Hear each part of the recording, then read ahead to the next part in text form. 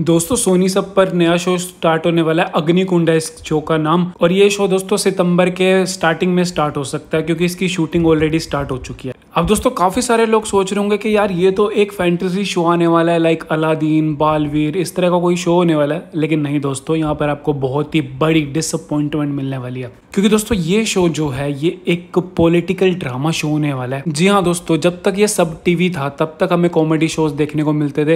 लेकिन जब से ये सोनी सब हुआ है, हमें सिर्फ़ और सिर्फ़ ये जो पूरा चैनल है, ये ड्रामा शोज़ की तरफ़ बढ़ता हुआ नज़र आ रहा है। और मुझे बिल्कुल भी इंटरेस्ट नहीं है ड्रामा शोज़ देखने में। यार, अगर आप कोई भी टीवी शो देख रहे हो मतलब दोस्तों ऐसा होना चाहिए कि भाई टाइम पास हो जाए, थोड़ा मज़ा आए। भाई ड्रामा शोज़ देखने में ना पूरा दिमाग में टेंशन हो जाती है। लेकिन फिर भी दोस्तों सबसे ज़्यादा इंडिया में यही ड्रामा शोज़ ही बिकते हैं।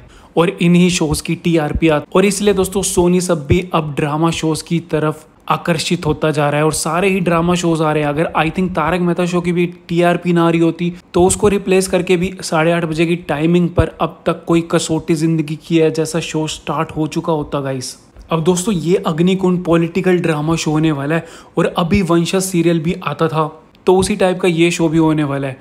अब दोस्तों मार्केट में जो शोज़ चल रहे हैं, जिस टाइप के शोज़ चल रहे हैं, उसी के ही टाइप के शोज़ जो है दूसरे चैनल भी स्टार्ट कर रहे हैं। तो अब ये स्ट्रेटजी रह गई है।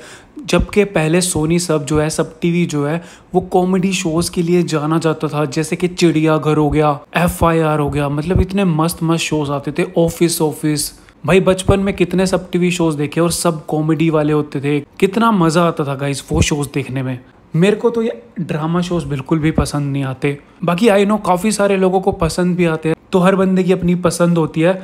लेकिन हाँ गाई सोनी सब जिस तरह से ड्रामा शोज़ की तरफ़ चल रहा है, चलो मैं कॉमेडी नहीं मानता। कम से कम फैंटेसी शोज़ में भी हमें कुछ इंटरेस्टिंग देखने को मिल जाता है। मतलब फैंटेसी शोज़ में भी हमें कॉमेडी देखने को मिल जाती है। लेकिन गाइस पॉलिटिकल ड्रामा शोज़ खैर दोस्तों, आप में से कितने लोग अग्निकुंड के लिए एक्साइटेड हो? कमेंट सेक्शन में ज़रूर बताना अपनी राय। मैंने अपनी राय बता दिया। और वीडियो पसंद दिया दोस्तों लाइक ज़रूर कर देना। मिलते हैं नेक्स्ट वीडियो में।